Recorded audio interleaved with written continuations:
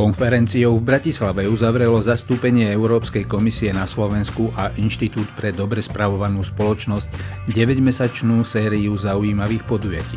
Boli zamerané na prezentáciu a rozpracovanie stratégie Európa 2020 pre inteligentnú, udržateľnú a inkluzívnu Európu. Počas 9 mesiacov sme zorganizovali dve veľké konferencie a 7 workshopov, bol venovaný jednej zo siedmých hlavných iniciatív stratégie. Účastníci týchto podujatí, poprední slovenskí experti, ktorí tu aj srdečne vítam, formulovali odporúčania pre tých, ktorí stratégiu na Slovensku realizujú. Musím bohužiaľ konštatovať, že v mnohých oblastiach čaká túto krajinu ešte obrovské množstvo práce. Naražam najmä na prvý aspekt stratégie, inteligentnú Európu, Katastrofálne podfinancovaná veda a školstvo si vyžadujú rýchle zmeny, pokiaľ nebude neskoro, ako samozrejme nie kvôli Bruselu, ale kvôli nám samým. Nelichotivé spodné priečky, priečka Európskej 27 nám patria aj v iných oblastiach. Napríklad v oblasti rozvoja digitálnej agendy či priemyselnej politiky. Dámy a páni, Európa 2020 je cesta k modernej Európe a modernému Slovensku. Možno sa zdá na prvý pohľad, že v čase krízy nie je na podobné veci čas a ani peniaze, ale práve opak je pravdou. Pre tých, ktorí vidia ďalej ako za horizont mesiacov, je kríza šancou uskutočniť dramatické zmeny k. V diskusii na konferencii vystúpilo s fundovanými príspevkami a otázkami viacero osobností z pedagogického, vedeckého i podnikateľského prostredia. Vo všetkých príspevkoch rezonovala vôľa realizovať v praxi iniciatívy stratégie Európa 2020. Slovensko dostalo aj vzhľadom k tomu, že zaostávame v mnohých oblastiach, dosť významnú podporu cez štrukturálne fondy pre roky 2007 až 2014. To znamená, že už bude záležať len na, na našej šikovnosti, akým štýlom dokážeme tieto fondy využiť, pretože konečne už máme aj finančnú podporu. Najdôležitejšia oblasť je vytvoriť platformu pre uskutočňovanie rôznych typov online služieb a k tomu potrebujeme mať informačnú infraštruktúru. Bez toho nemôžeme ďalej vlastne nič e, robiť. E, tá informačná infraštruktúra je aj pozitívne vytvorená už v súčasnosti, najmä na úrovni miest. Zaostávame ale úrovni e, prímeských a vidieckých oblastí. Ak sa podarí tá infraštruktúra urobiť, v tom momente môžeme začať hovoriť o ďalších etapách a tam je podľa mňa dôležité naštartovať funkčný systém e-governmentu, opäť nie len na úrovni ústrednej štátnej správy, ale aj na úrovni regionálnych a miestnych samozpráv, vrátania aj malých obcí.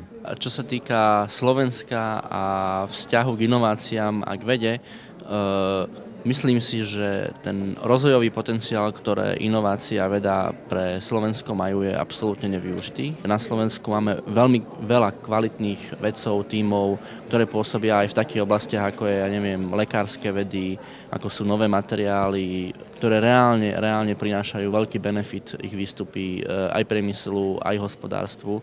Najzákladnejší problém je, a nie tak, že smeluje relatívne malo investícií do tejto oblasti, ako v tom, že tu neexistuje ucelený systém zo strany štátu, ktorý by túto oblasť riadil a e, ktorý by ju riadil bez ohľadu na to, e, či sa vláda mení a nastupuje nová politická garnitúra alebo nie. Stratégia EU 2020 obsahuje jednu iniciatívu, ktorú ja vnímam primárne ako iniciatívu týkajúcu sa podnikateľského prostredia, pretože práve táto iniciatíva vytvára priestor na to, aby zodpovedné krajiny prijímali opatrenia na zlepšovanie podmienok na podnikanie, pretože práve podnikatelia, ktorí dávajú ľuďom prácu, platia dane, sú tí, ktorí môžu a majú potenciál potiahnuť jednotlivé členské krajiny i Európu ako celok dopredu. Je pravda, že podnikateľské prostredie na Slovensku v súčasnosti nie je boh vie ako dobré hodnotenie zo strany podnikateľov, avšak celá stratégia EU 2020 veľmi dobre e, motivovala vládu k tomu, aby vytvorila programy, ktoré naozaj pomôžu Slovensku ísť dopredu. Či je to národný program Reforiem, alebo projekt Singapur, alebo stratégia Minerva 2 na podporu vedomostnej ekonomiky. Čiže ja si myslím, že táto stratégia veľmi dobre orient, zorientovala súčasnú vládu, respektíve vládu, ktorá um, ešte má mandát do marca roku 2012 k tomu, aby skutočne tie opatrenia presadila do praxe. Z môjho pohľadu považujem tento projekt za úspešný, pretože sa nám podarilo dať dokopy odborné expertné odporúčania vo forme takéhoto zborníka, ktorý veľmi prehľadným spôsobom e, dáva dokopy odporúčania odborníkov, čo treba na Slovensku urobiť v tej ktorej oblasti, aby Slovensko išlo modernou a úspešnou cestou. Samozrejme, odborné odporúčania sú dobrá vec, ale musia mať prepojenie s politickou reprezentáciou, ktorá zodpoveda za ich realizáciu na Slovensku. V zahraničnej politike, konec koncov aj v európskej politike, je dôležitá kontinuita, je dôležitá zhoda politických strán, ktorá presiahne jedno volebné obdobie.